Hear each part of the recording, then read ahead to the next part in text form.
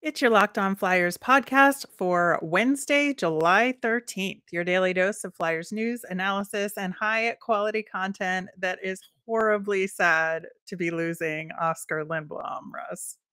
Terrible day. Terrible, terrible day. We'll talk about that and more moves leading up to free agency coming up now. Your Locked On Flyers, your daily podcast on the Philadelphia Flyers part of the Locked On Podcast Network. Your team every day.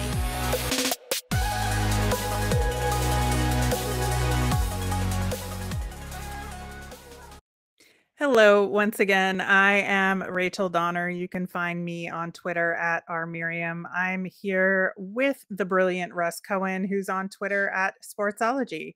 Thanks for making us your first listen every day. You can follow us on Twitter at Locked On Flyers. That's where you'll keep up to date on all our episodes, Flyers news. You can send us mailbag questions like we are answering today. You can also email the show at lockedonflyers at gmail.com. On today's show, we are going to talk about the Oskar Lindblom buyout, other Flyers news leading up to free agency, which starts today. We'll get some more development camp updates from Russ, who was there. Then we will answer your mailbag questions. Locked On Flyers is free and available on Apple Podcasts, Spotify, Audacy, wherever you are listening right now. Hit that subscribe button. You'll get all of our episodes here on the Locked On Podcast Network. Plus, we're over on YouTube. So drop us some likes and subscribe over there as well. Russ, I am a very sad human today, starting yesterday, uh, in the midst of seeing these beautiful images from NASA from the James Webb Space Telescope. We were given the news that the Flyers indeed decided to buy out Oskar Lindblom. Uh, it gets us about three million on the cap, which is, I guess, something. But three point three three, if you really want to know. Yeah. So I think that it's uh, obviously a move toward being able to make moves in free agency. Perhaps Johnny Gaudreau, perhaps somebody else, but I just think it's a missed opportunity with only one year left on his contract. We all know what he's been through I mean, at, at what cost here, given that, you know, it's it's much better, I think, to have some more expiring contracts than to sign another big name to a, a longer term deal and have a lot more money locked up. Well, I think this is like a question you could direct to Chuck Fletcher because if they had more cap space, they wouldn't be doing this deal, uh, the mm-hmm. buyout. So it, it, was sad. We all kind of, you know, heard it at the same time uh, in, in the press area. Again, I'm not going to even defend it um, on a cap saving measure because he's like their second best defensive forward, and you're still going to have to make up 12 to 17 goals for not a lot of money. Because in the end, when you get at the end of this rainbow that they're searching for, you're going to still have to bring in a lot of cheap players.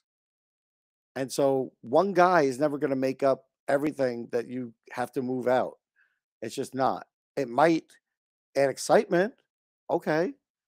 But to me, it's very short sighted. And and I feel bad for Oskar. At least he'll get another job because it's early on enough in the process that teams will take him. But in the end, this doesn't make the Flyers better, even even with the cap maneuverability.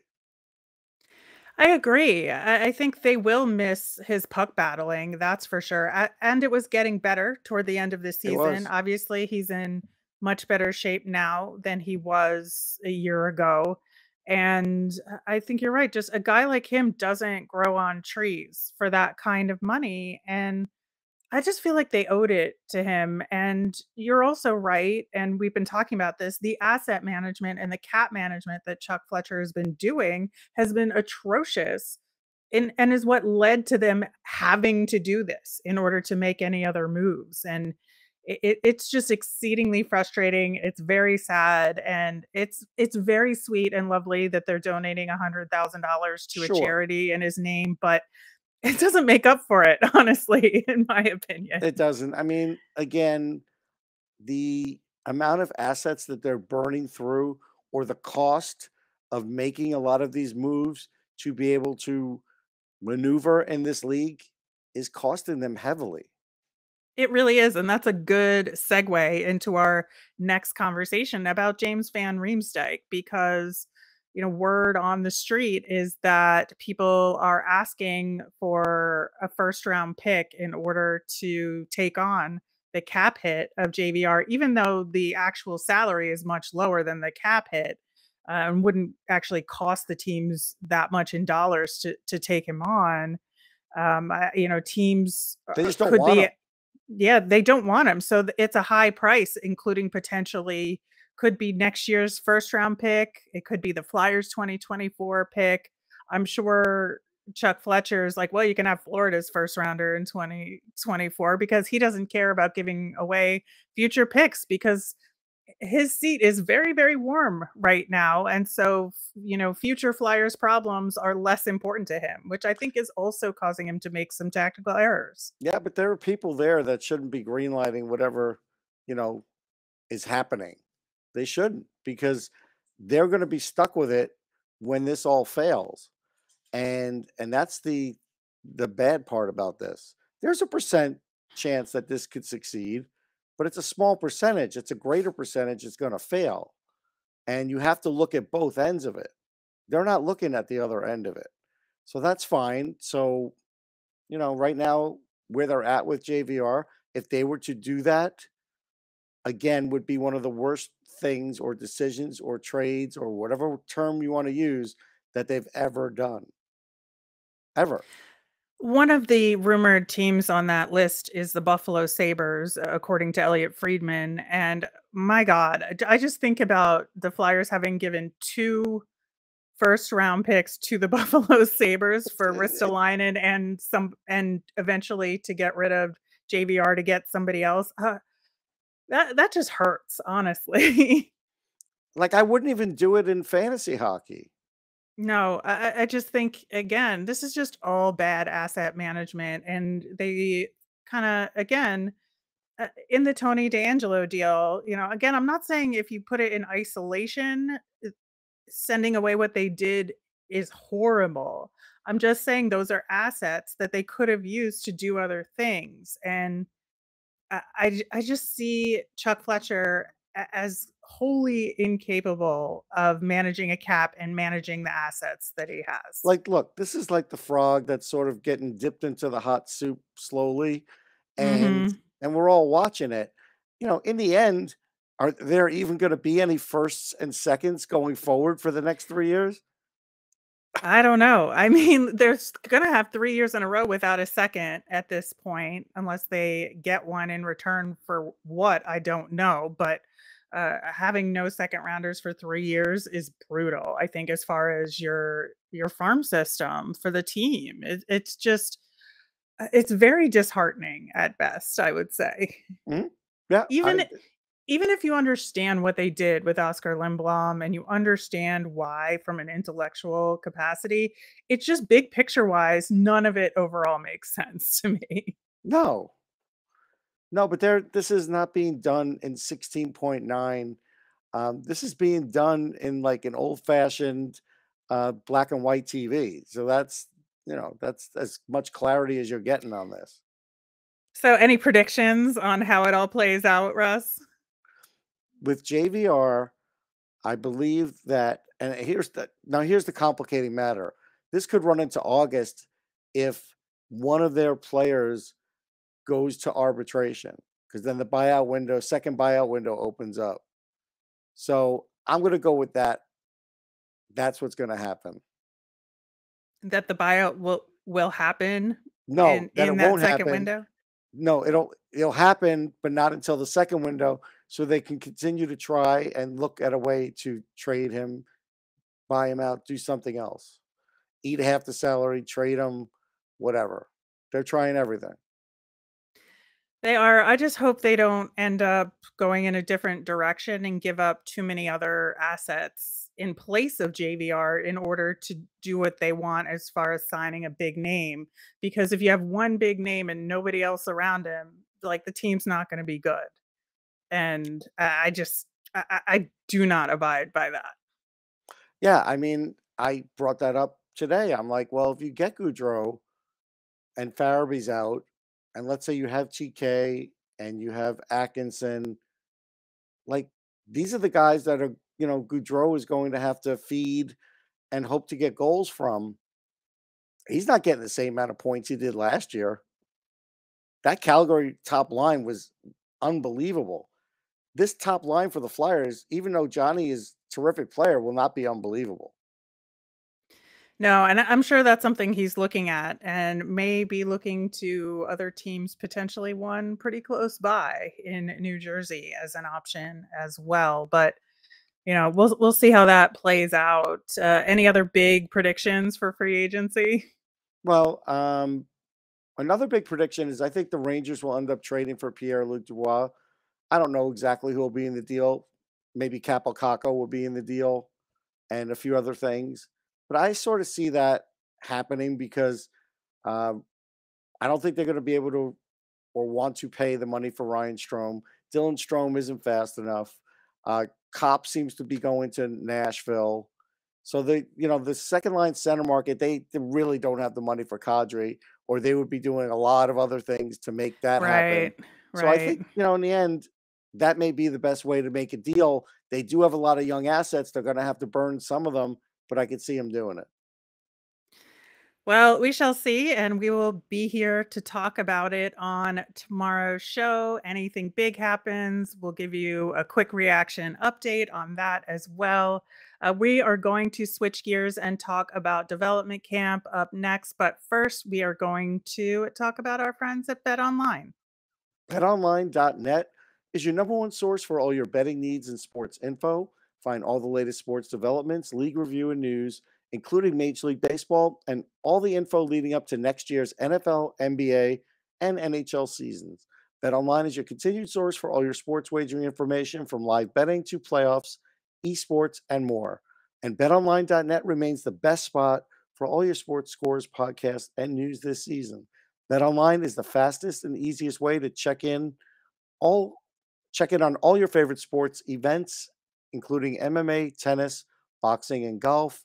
Head to the website today or use your mobile device to learn more about the trends in action. Bet online where the game starts.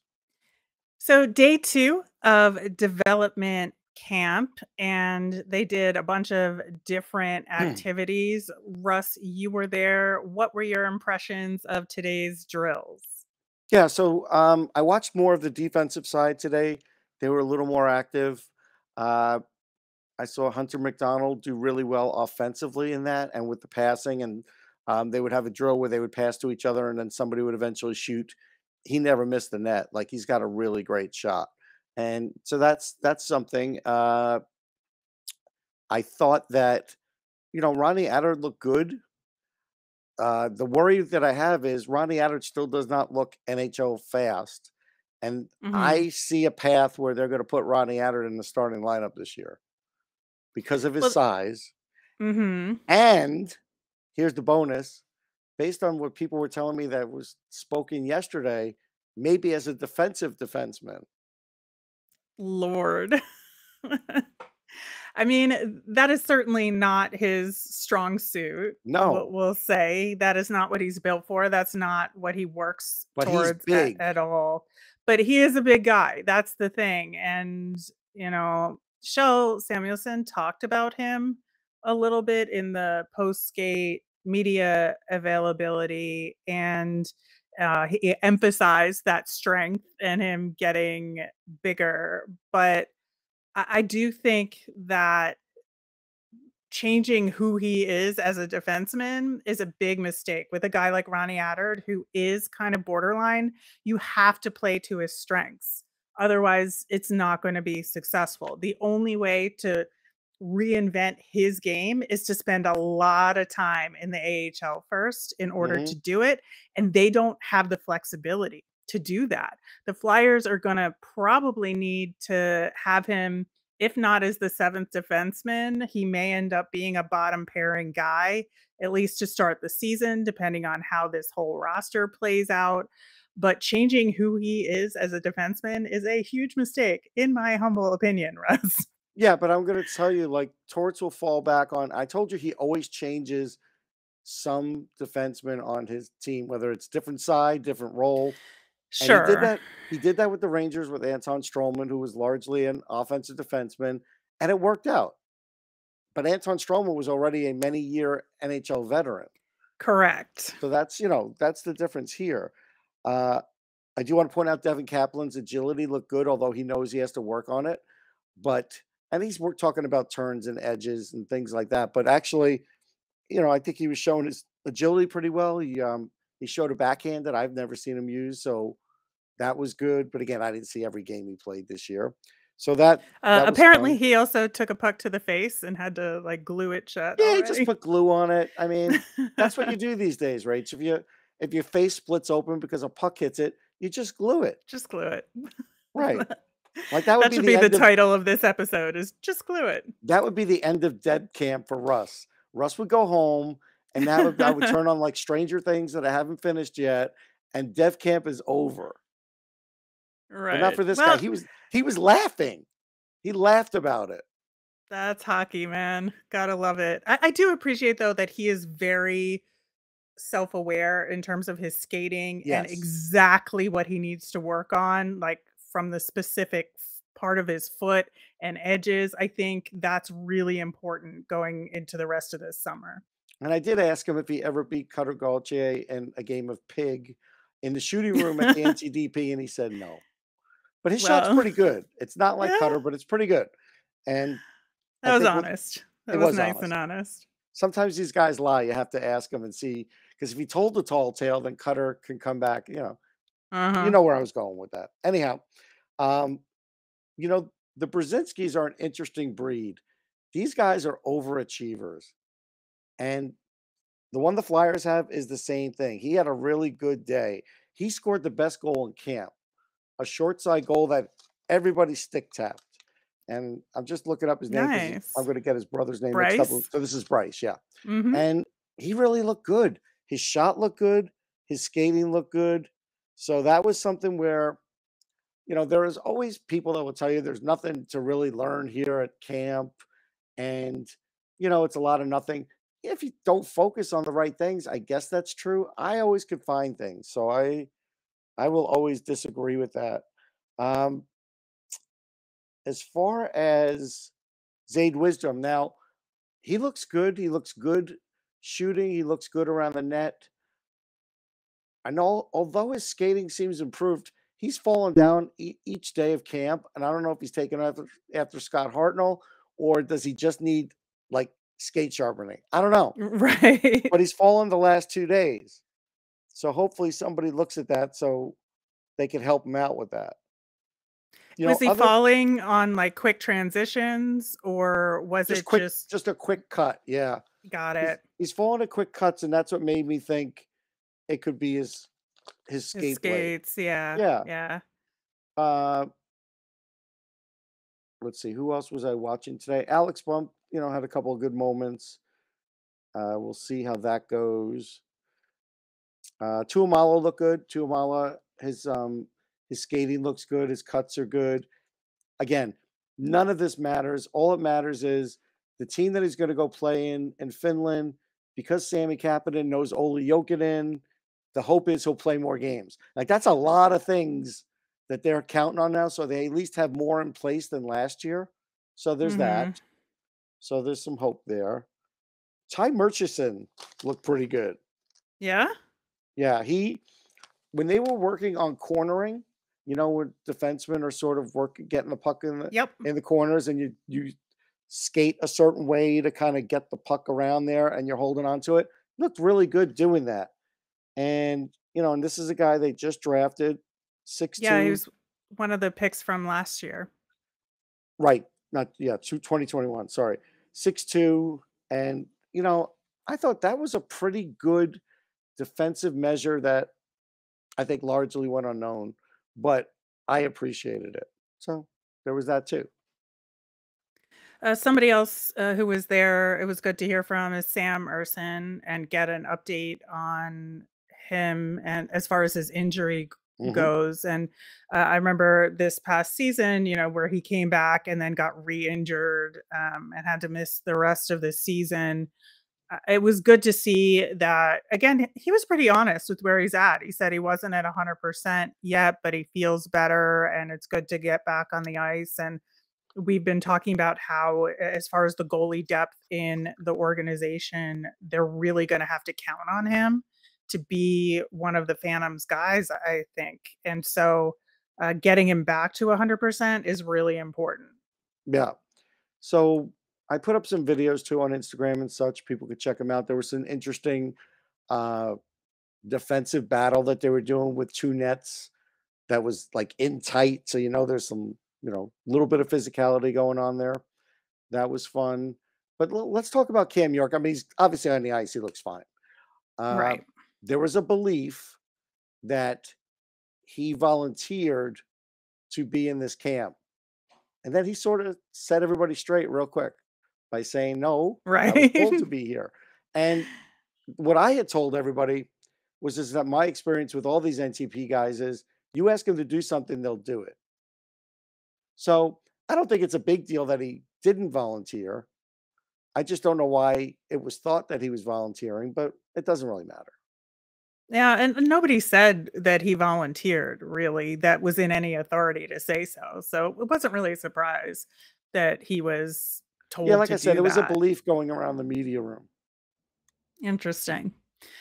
Well, we have more of development camp this week. We'll be talking about that as it progresses toward their little uh, three on three tournament at the end of the week. And uh, we will be getting to your mailbag questions coming up next. We've got some Tony DeAngelo, some cat management, so much to get to. But first, this episode is brought to you by Rock Auto. With the ever increasing numbers of makes and models, it's now impossible for your local chain auto parts store to stock all the parts you need. Why endure often pointless or seemingly intimidating questioning and wait while the person behind the counter orders the parts on their computer? They're going to choose the only brand their warehouse happens to carry. You have computers with access to rockauto.com at home and in your pocket. Rock Auto prices are reliably low for every customer, from expert mechanics to beginner do it yourselfers. They have everything you could need from brake parts, tail lamps, motor oil, even new carpet. Whatever you need from your car, you'll be able to find it and get your car in shape. So go to rockauto.com right now. You can see all the parts available for your car or truck and then write locked on in their How Did You Hear About Us box so that they know we sent you. Amazing selection, reliably low prices, all the parts your car will ever need at rockauto.com. Getting to your questions in our mailbag here. The first one is a question that I have too. So thank you, Noah from Twitter, for asking. He wants to know Do you think the DeAngelo trade was made in an effort to give the Flyers a Broad Street bully identity? If not, how does this trade contribute to our identity struggles? Uh, it doesn't contribute to the identity struggle. It's just how can we get somebody to help the power play? And they did. Yeah, I think you're right. And we talked about this yesterday uh, uh, when we were initially talking about the trade as well, or on um, Monday show. That is, and it it really doesn't contribute to any changed identity that Chuck Fletcher has been talking about in term accountability and and all of these other things. He he seems to go counter to that, uh, which is a, a little puzzling, I think. But at the same time, you know, it does solve a particular problem on the ice as far as offensive defensemen go and the power play. And it's as simple as that. And Chuck Fletcher is just willing to deal with kind of it muddying the water in other aspects in order to gain those things. And uh, we'll just have to see how it plays out, right? Yeah. Uh, Andrew also has a question about Tony DeAngelo as far as his defensive game. Wants to know is it at least serviceable, and do you see him on the top pairing with Provorov? I mean, it's debatable whether it's serviceable. Some people, like we were chatting about it today, said it is. I say it's really below average, but I think Brind'Amour was willing to put up with it because he had Jaccob Slavin who could shoulder a lot. Uh, you know, if the Flyers trade Ivan Provorov for cap space, I don't know who's going to shoulder it with with him. Is he going to be Risto? I mean, he's not quite Jaccob Slavin. So, you know, I I think he's still weak defensively. His puck retrieval is pretty good, so that's at least something where because his skating is excellent. So you could do something with that. Uh, serviceable, sure, why not? Yeah, I go back and forth on this. I think that for me, having John Tortorella and having a defensive minded structure, I think is going to improve everybody marginally. I'm not saying there'll be vast improvements with everybody, but the system that he's going to put in place is going to be defensively focused. So I think we'll get a little bit more out of Tony DeAngelo than we might have otherwise uh, with a different coach but uh, I think he's still below average, and the pairing is going to have a huge impact on his performance defensively. And I just hope the coaches can uh, put together pairs that make sense and kind of hide some of those flaws. All right, a huge question related to potentially signing Johnny Gaudreau. And this came from a Devils fan on YouTube. And I'm Mhm. guessing they want to get Gaudreau for the Devils when they asked it. But how do the Flyers create 10 million in cap space for Johnny Gaudreau when the current cap space is about 3 million now with the Oskar Lindblom buyout? Can they create that much space? Sure. Um, they could get close to it just by trading that little old first round pick and JVR. Then they get closer. That's, you know, it's not a full seven. I think it's like four or five after the signing bonus, something like that. So, so there's that. And then all you have to do is get rid of Konecny or Provorov. And then you can do it. It's easy. Yeah, I just wonder if they're gonna have to get rid of both Konecny and Provorov in order to do it and not count on that JVR cap space. So just- I, just I'm so- very nervous about that. Yeah. And just so the the viewer understands, that was me being flippant, but that's how they can do it. Yeah, it, it's very unlikely, but again, in this world, anything is possible, right? With hockey men. So we will see how that goes. And um, I think, you know, there could be some other names out there as well, as far as a big name that isn't Johnny Gaudreau. So, Well, I think they if they can't get Gaudreau, they'll go after Nazem Kadri, but he's only going to be about a million bucks a year cheaper. Yeah, I don't I don't know if it'll be worth it um as far as the impact which would which will be good but not as good as Johnny Gaudreau, I think. Right. All right, last question. Uh the Premier Hockey Federation announced expansion to Montreal for this upcoming season. That's the uh, Women's Pro League. Any shot at a women's team in Philadelphia?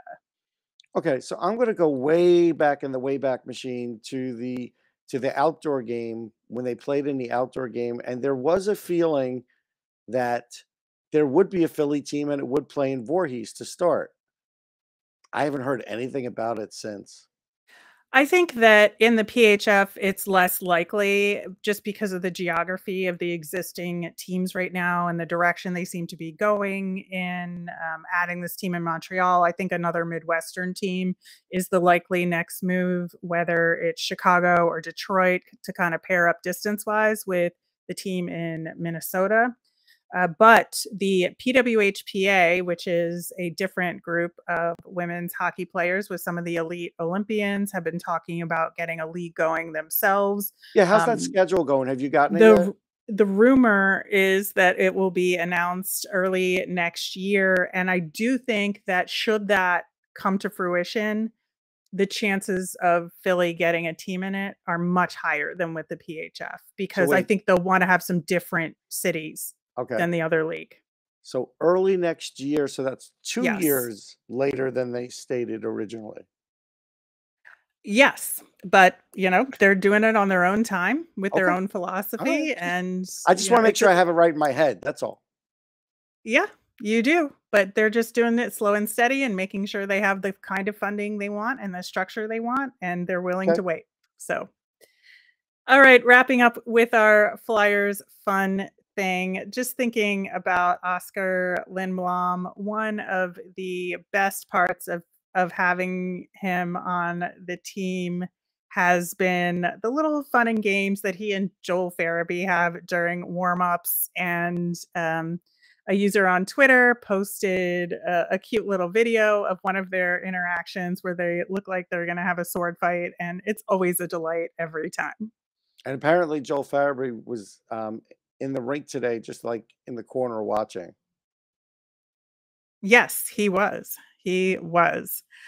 All right, that will wrap things up for today's show. We will be back again tomorrow. We're going to talk about free agency so far uh, keep track of our Twitter account, and we will be posting any reactions we have to any additional moves since our recording of this episode. Plus, we will do a little bit of a deeper dive into our new prospect, Alex Bump. As a reminder, we always want to hear from you. Send us in your mailbag questions via Twitter at Locked On Flyers or email us at lockedonflyers at gmail.com. I'm Rachel. I'm on Twitter at R Miriam. That's R M I R I A M. I'm Russ. It's at Sportsology, S P O R T S O L O G Y. You made us your first listen today. Now make your second listen locked on NHL. Our experts give you a daily 30 minute podcast on all things NHL all year long. Stay up to date on everything in the hockey world with Locked On NHL, your daily 30 minute NHL podcast. Have a great day, everyone.